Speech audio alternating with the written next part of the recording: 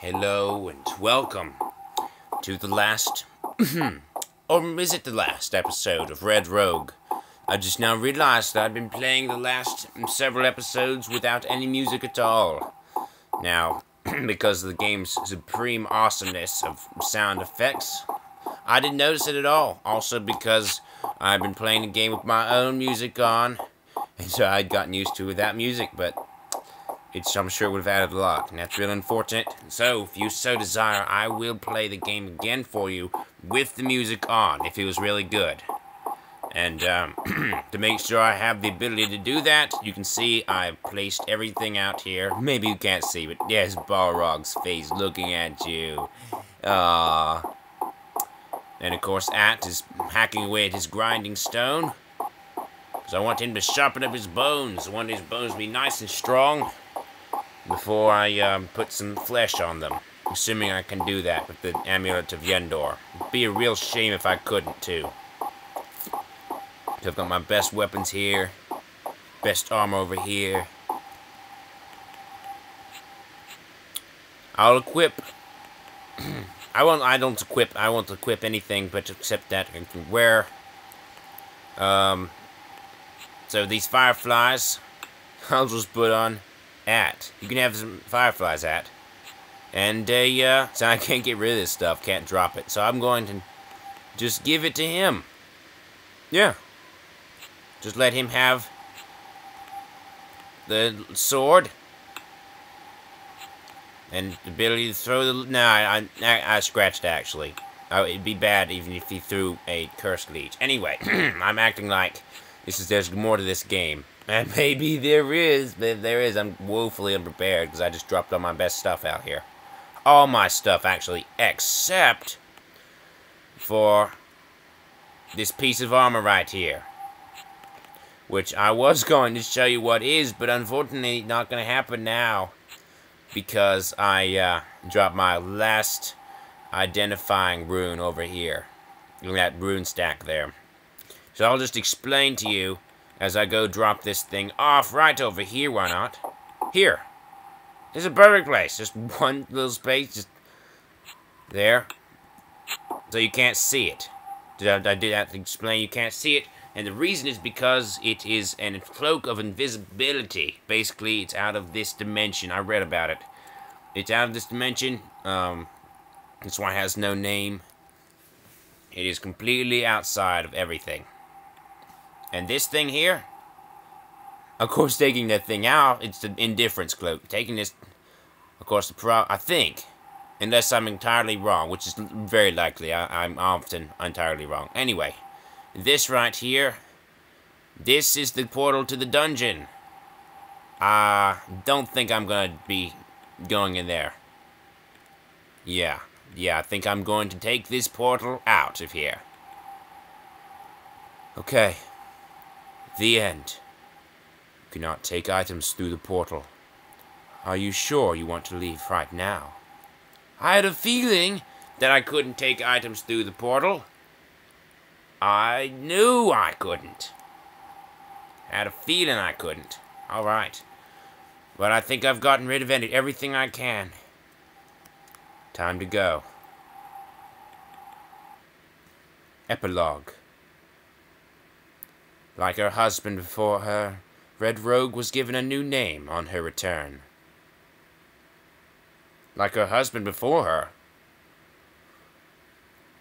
Um, I, I, don't really know much about the Rogue lore. Um, post in comments what that what that means. Hearing of her use of the rune of, of time, and her constant cheating of death. What? That's how she survived death, huh? Hmm. She did a good job of it, too. Did it multiple times. Multiple times, meaning lots of times when I went recording, and times where I was. Immortal. Red. Rogue. The Immortal.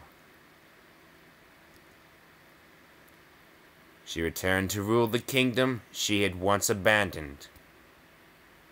She said in one of the dreams that she was a princess, and she gave it all up for Aunt, It's really sweet. For 39 years he ruled in peace. No one dared question or make war with one who traveled through time and wielded the power of Yendor. Which we never used. She took no prince and gave her people no heirs. Her quest for vengeance of her dead husband had brought no solace. So she did die. Left no heirs. Offers of marriage were made to her, dying on their lips as they saw At advance, following her rebuttal. Does that mean he killed them? Dying on their lips? No, no, just mean no.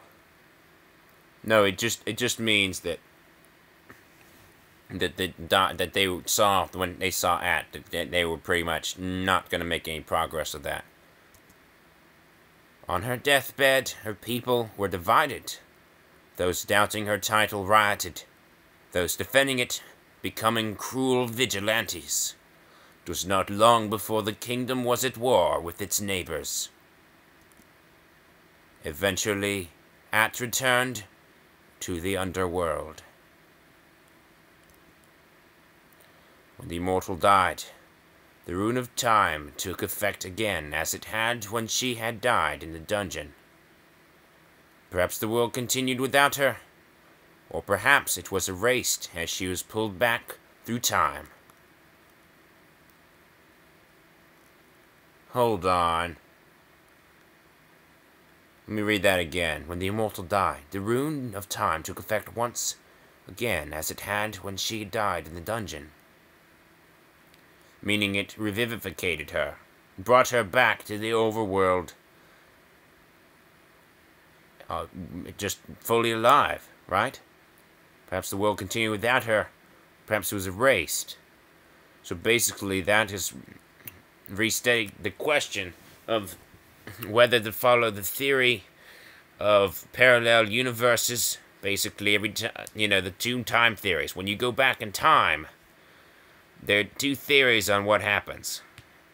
One theory is that uh, basically everything that was is erased because you reset time. You go back, and so everything that had been is uh, is automatically gone because you and you can't play out the same role you did before. It'd be impossible. So it's all erased and it starts anew. The other uh, theory is that it would continue on in its own parallel universe. So every time you go back in time, to avoid destroying the time that you had come from and, and getting maybe possible grandfather paradoxes, uh, which is basically where you go back in time and kill your grandfather before he had your father, so you shouldn't have existed at all, but and you shouldn't be able to do it. It's paradox. But to get rid of that yeah, I think that last, that theory of going to parallel universes is, holds the most truth. You can go back in time, but every time you abandon your current universe. So she lived on, but in a different universe, it would seem like. That's, that's my interpretation. The immortal looked into eternity and descended.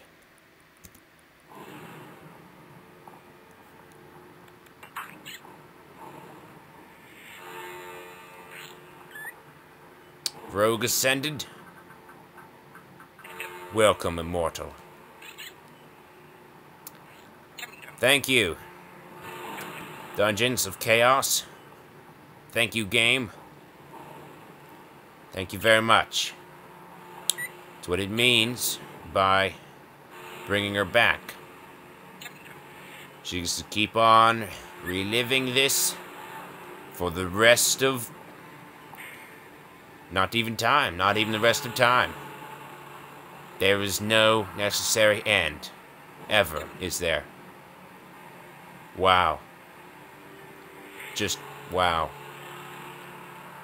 Well, if you want to continue, if you want to, if you think maybe, uh, if we try again, if we defeat Balrog once more as the immortal, the epilogue will be different. Perhaps granting her one final escape? Then post in the comments. Post in the comments that you want me to continue this series. I would love to, believe me. This is one of my absolute favorite games of all time. Everything about it is, perfect. The thing about resetting time, losing all your stuff when you die, and the overworld being a, a, a rift that keeps everything in it. A time bubble, as it were. It's all awesome. It's the best game I've... Hard to say it's the best game I've ever played, but it is one of them. Amazingly, one of the best games. I'm glad I could share this experience with you. It doesn't have to end, but this episode does. Thanks for watching it and this entire series up to this point. Until we meet again in another game, goodbye.